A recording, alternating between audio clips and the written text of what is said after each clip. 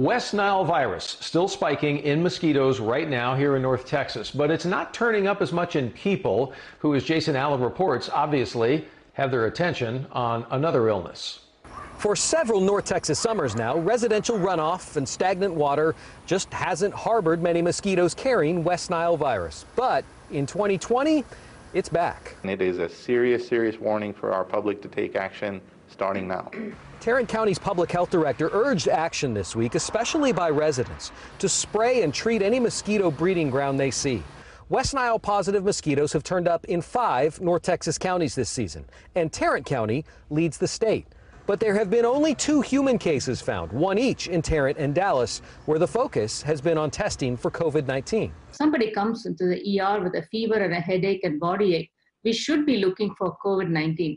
But since West Nile is also in the radar, and during the summer months, we as healthcare professionals, we are trained to have that in the differential diagnosis and look for those as well.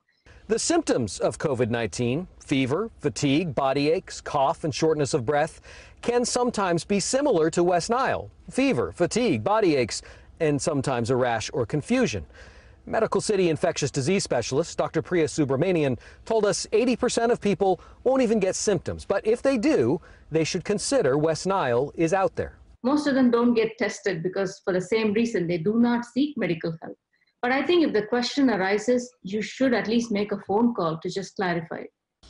There are at least four instances this year in Tarrant County of people donating blood that later tested positive for West Nile.